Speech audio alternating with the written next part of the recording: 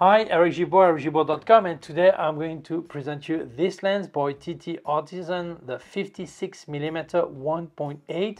I tested it on my Fujifilm X-S20, but it also exists for Sony E-mounts, for APS-C, and also Nikon Z. So let's start.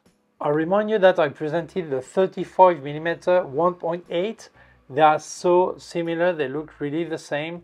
Uh, this one is a bit lighter, 35 millimeter, I think, maybe slightly lighter, but the size, the build, same quality. I would say that uh, this one was prone to flare, and uh, this is highly corrected on this one. You still have some flare but nothing not as much as this okay? But they really look similar so i'll leave you a link of uh, the review i made of the 35 millimeter. The build is completely metal. One thing uh, that is important is the back cap. Don't lose it. There is a usb-c connector here so you can update the firmware. I think i love the solution that tt artisan is having is using uh, because you don't have to buy an extra dock or whatever. Some uh, a lot more expensive brand actually uh, sell you a separate dock to update the firmware. I think this is the best best way. You know, you have connectors here, USB-C, and that's it. You know, great. Okay, fully metal. You don't have aperture ring on this one. I know that Fujifilm fan love uh, aperture rings. For me, that's no problem. Okay and here you will have uh, here you have a ring that is the focusing ring when you're not using uh, autofocus. You prefer to have a manual focus. It's smooth works really nice. The only point I don't really like uh, this is the sun hood. It's really uh, it works really nice really good. Uh, the shape I don't like this shape but I understand you need it to uh, keep flare away and keep some contrast contrast on your lens on your picture but the problem is uh, the front cap. When you have it, uh, then when you're going to put it in your bag, you can still put the, uh, the, the, the, hood on there, but then you cannot remove the cap. So uh, when you're walking on the street, if you have this on, it's really, uh, you will end up not using the, the cap. Well, I would have preferred if that created a square, a rectangle uh, cap for that, and that's it. I don't know, okay, but honestly, the build is really great, really good. Uh, nice in hand, weight, all this, really nice. So this is a 56 millimeter. The equivalent in full frame is 84 millimeter. The angle that covers is 28 degrees. And as I said, is APS-C autofocus uh, lens with uh, Fuji X mount, Sony E APS-C uh, version, okay, and Nikon Z also uh, for APS-C. So you have three uh, mount possible mounts okay? The aperture goes from 1.8 to f16 the minimum focusing distance is five, uh, 50 centimeters half a meter okay? I think that's nice. I like to be able to uh, be uh, close. I would like always closer but that's fine and uh, that, that's okay. If you look at the aperture it has no, uh, nine blades and I must say that the bokeh on uh, point of light at maximum aperture is really round, really nice. I think it's smooth. I like the bokeh it gives, really nice. The build is 10 elements in 9 groups and the weight 233 grams up to 245 grams depending I suppose on the mount if there's a sunshade or I don't know okay but that's around this okay and the filter size, the diameter is the same as on the 35 millimeter, which is 52 millimeters. The build, completely metal, really nice. When we speak about 58, uh, 56 millimeter, straight away in APS-C, people think about a portrait lens. Yes, probably, but I wanted to try it in many situations because uh, sometimes some people like it for other things. So uh, you will see the pictures. And I think, yeah, it's not just portrait, it's for many things one thing the weight looks is nice the metal is nice but what's important is the optical quality. So we're going to have a look at it and I'll look at the uh, target and show you and comment. So let's have let's see that. So let's check.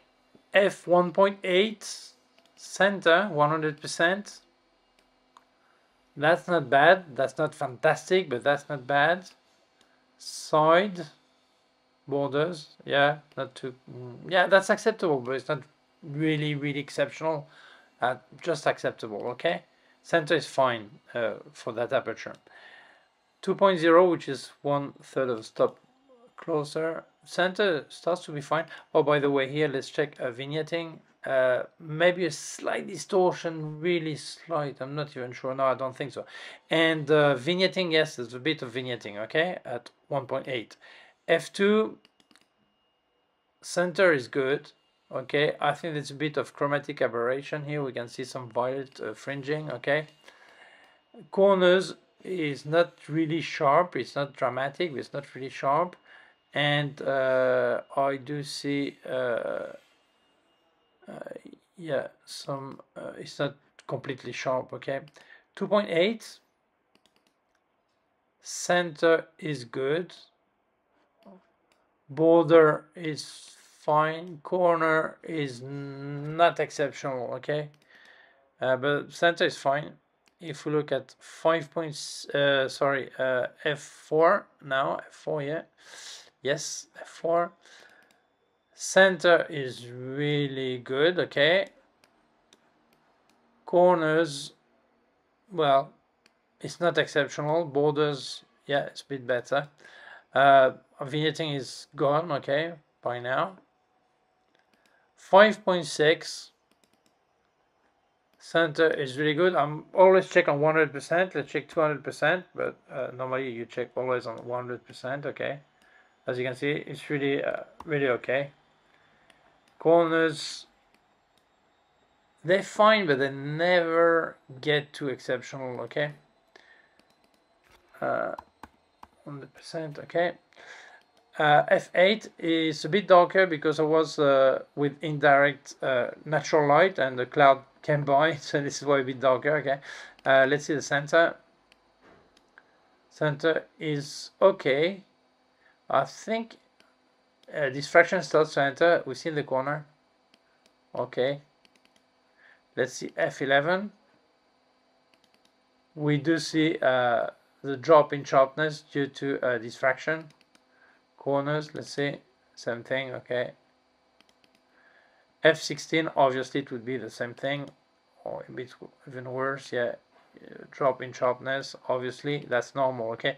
So I would say the perfect uh, best uh, aperture for this lens is uh, 5.6 uh, if we look at here.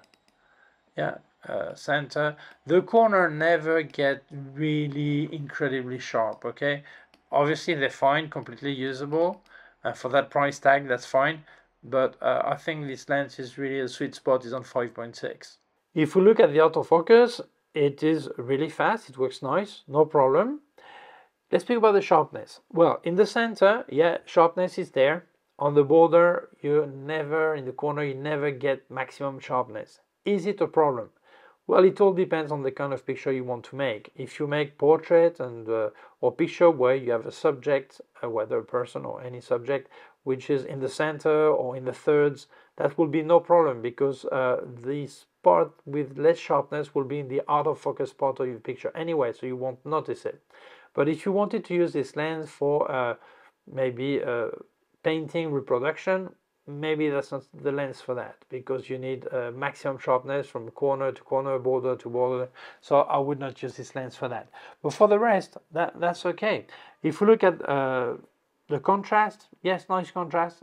Contrast, it is a bit punchy, that's fine.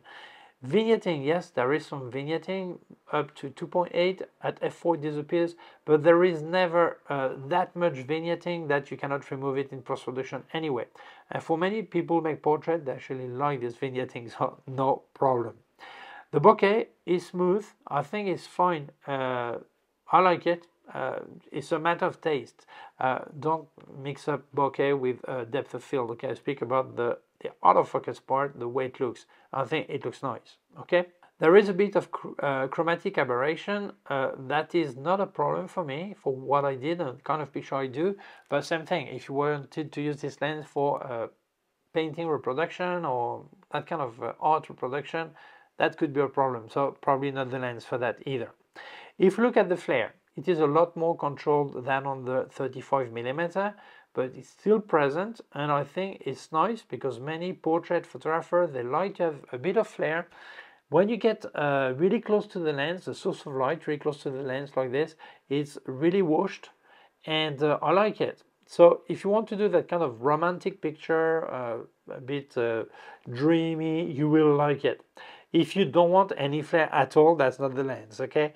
But uh, or, or, you have to orientate your light in a different way okay? But still i think what i saw was fine okay? Actually i think it's hard to get a lot better for this price. It's under 200 euros and uh, you would have to spend probably uh, five or six times more okay? So for that price for that build i think there is not much we can complain about. So my conclusion, well, I think this is a great little lens, nice build. The image quality, the optical quality is good. It's not the best you can find, I think, but you would have to pay a lot more to get better than this. So for me, that's nice. But what I really love is that uh, the market is changing. Uh, we're going back to uh, real photography. Lately, people were looking only at the optical side of a lens, and they forgot to look at photography.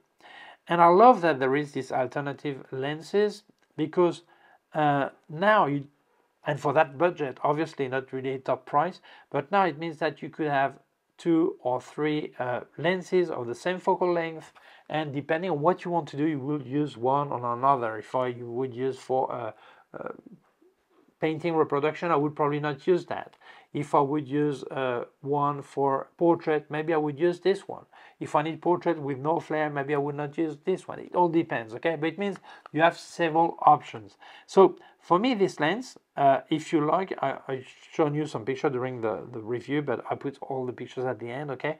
Uh, if you like that kind of aspect, yeah, I can recommend it to you. You will like it. If you don't like this aspect, obviously this lens is not for you. So the decision is yours. But for me, this is a great little lens for a fair price for what it gives. Okay, so for me, it's completely recommendable. In case you're interested, I'll leave you a link in the description on where you can buy it.